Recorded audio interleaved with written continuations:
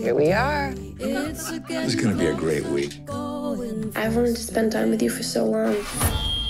Would you mind getting inside the oven to clean it?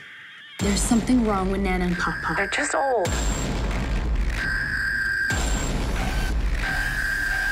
Is everything okay? You've been reacting funny. It's bedtime. The visit. Don't be scared. It's just Nana.